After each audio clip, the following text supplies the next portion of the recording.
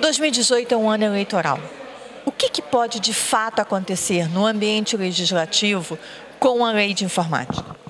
Bom, eu acredito que nós não temos condições de aprovar em plenário nenhuma lei tão complexa quanto essa.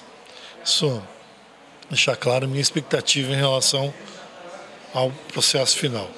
Entretanto, existe ambiente na mesa diretora da Câmara e com um grupo de parlamentares, com o qual a gente se relaciona na Comissão de Ciência e Tecnologia, nas diversas frentes parlamentares, parlamentares que tratam do assunto, é possível sim criar uma comissão especial, estabelecer um cronograma de debates, de reuniões, inclusive de visitas pelo Brasil. Minha ideia é, saindo da comissão, a gente andar pelo Brasil, em loco, ver o que o Brasil tem de infraestrutura, o que tem necessidade, e construir um bom relatório final de, do que seria uma lei de informática brasileira.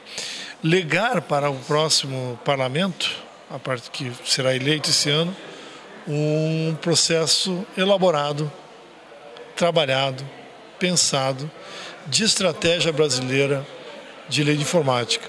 E não esperar que o governo seja o protagonista de novo. E sim que o parlamento cumpra seu papel de ser o protagonista dessa estratégia nacional tão fundamental uh, para o país. Quando se fala na lei de informática, há o conflito com a OMC, que está em julgamento. Eu sei que não se pode falar muito porque está a questão, mas como que o Brasil pode se defender na OMC, que já que questionaram tanto as nossas políticas chamando de protecionista, quando a gente tem, por exemplo, o caso dos Estados Unidos agora com aço, até que ponto isso pode nos ajudar a garantir os incentivos da lei de informática? Eu acho que a gente tem que utilizar, existem mecanismos, eh, e a gente tem que tratar isso em público. Eu não sou desse que acha que não tem que tratar em público. A OMC está dando o caminho dela, o Brasil está se defendendo, não existe nenhuma estratégia milagrosa, escondida e secreta. Né? Um dos caminhos, por exemplo, é que os fundos que existam hoje, como o FUST, o FNDCT, deixem de ser contábil e virem fundos financeiros. Por exemplo, como é o FAT, que tem uma conta, o dinheiro em algum lugar, e que a sociedade tenha controle sobre isso, está ali, e que tenham projetos financiados por isso. Isso é uma saída. Né? Então, existem é, saídas possíveis para a gente é, fugir da, da pressão da OMC e dos países que hoje trabalham essa questão da mudança na forma que o incentivo é dado. Porque qual é o problema hoje que eles alegam? É que o incentivo é declarado na nota fiscal. Então está lá a nota fiscal, está o, o preço do produto e a renúncia fiscal colocada ali. Né? Então é óbvio demais e, e, e facilmente atacável por outros países. Né? E existem outras formas, outros mecanismos legais da gente incentivar o setor que não seja dessa forma. Né? E, mas é, é uma questão da gente estudar essas formas, conversar com o governo, conversar com o setor produtivo, com a sociedade e estabelecer essa forma. E o governo entender que fundo não é para ficar pagando dívida nem fazendo um superávit fiscal. Se o fundo foi criado, é porque ele tem um objetivo. E esse objetivo é para ser praticado. É, a, o, a Câmara está discutindo numa comissão espacial, especial a MP 810, que foi lançada no final do ano passado e que tem, também faz uma atualização da lei de informática, inclusive com uma questão séria que é fazendo com que as empresas tenham um maior controle, quer dizer, o dever das empresas no investimento em pesquisa e desenvolvimento e de fato investirem. O que, que o senhor acha disso? Quer dizer, é, as empresas também não têm que ter o dever de usar os recursos dentro do que foi previsto? Quer dizer, isso é uma questão da MP 810, que diz o seguinte: não pode ser reinvestido dentro da empresa, tem que reinvestir em centros universitários, em centros de pesquisas e até mesmo em startups. As empresas também não têm que ter deveres?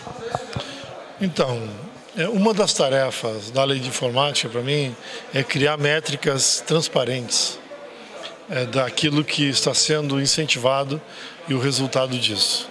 Exatamente a gente fugir desse tipo. Existem é, mais de 4 mil processos é, sendo estudados lá em Campinas pelo CPQD, no CPQD não, pelo é, eu acho que é o CPQD, para ver o que de fato foi é, é, investido ou não. Mas existe também regras muito duras e muitas vezes desnecessárias dos órgãos de controle. Né? O TCU, por exemplo, nós, a gente quer que funcione, mas muitas vezes eles entram nos meandros é, e que acabam dificultando a aplicação das leis, criando critérios, é, é, regulamentando demais no detalhe, na vírgula, tudo que é incentivo. E isso também atrapalha. Então as empresas têm a sua obrigação e a lei ela tem que estabelecer métricas claras. Mas também nós não podemos esquecer que os órgãos de controle exageram muitas vezes nas suas, nos seus autos, nos seus relatórios, muitas vezes inclusive sem prova.